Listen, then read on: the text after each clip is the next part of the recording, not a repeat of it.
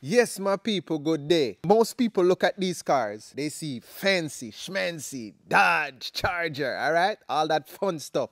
Now, as a technician, when we look at these vehicles, let me just point out some of the things that we see right here. First thing, this thing barely have enough miles on it. It's fairly new. And this oil filter housing already puked.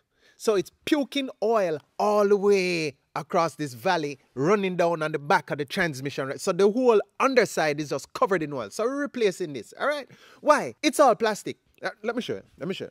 First thing, first thing, first thing. Before anybody say anything, see? Boom. OEM part. I like working with OEM part. But check it out. Check it out. Check it out. Plastic City. Plastic. Plastic, plastic, plastic, plastic if they could make this cooler out of plastic, they would. Okay? And they're probably working on that now as we speak. Right? So that's the part. Just to show you how much plastic, plastic, plastic. So now, check it out. Now, check it out. When I see so much plastic, uh, plastic fuel rail, fuel rail, plastic, fuel, fuel rail line, plastic. These things over time on European cars, anybody who works on European cars can, you see this connection right here? They split, split. It is something we see all the time on European vehicles. They split, it just split because hot and cold, hot and cold. So this will be a high pressure fuel leak that's misting when it does feel that.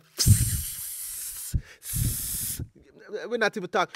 Okay, plastic nipple on the plastic fuel rail, right?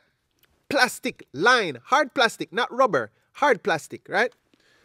Plastic intake manifold, hot and cold, hot and cold, hot and cold, plastic, plastic valve cover. No, it's not just valve cover gaskets leaking these days. We also have bad valve covers because they split. So now you're doing new valve covers and it's not like they know that, okay, the valve covers are leaking. So, you know, let's bring the price down on them so it's not so prohibitive to the. No, no, no, still expensive.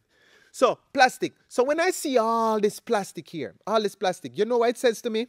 This vehicle, this, this vehicle here, this fancy schmancy, see how the lights pretty and rah, rah. granted it's a V6, so no, no, I'm getting to all of that. They're all the same. Okay, now let me start talking about no Hemi and, and, and push rods and rollers and rockers. Let's not get into that. When I see all these designs here, and hang on, hang on there.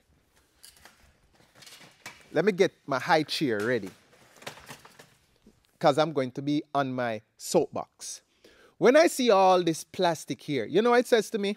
This is not designed for the long haul.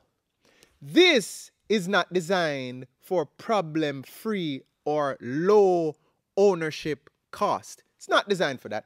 This is designed for low cost in manufacturing to maximize the profit margin. That's what this is. That's why so much plastic is thrown into places that they know will fail prematurely. And then now you, the customer, will have to be footing the bill.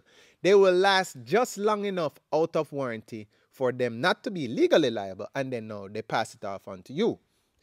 These things, if this was metal and if this housing was metal, I would not be here. Not that I don't want to make no money, but still, I'm just saying. I'm just saying. Just saying. That's what's going on. This is not built as a mechanic, all this plastic stuff. This is not built for the long haul, and this is not built for to be on the road for no two, three hundred thousand miles. No, no, negative, negative, negative. So, the more you know. so when you buy your thing and then nice and pretty with the infotainment and it pairs to your phone and all these type things and you start it up and it goes yeah yeah mm you come in to see me.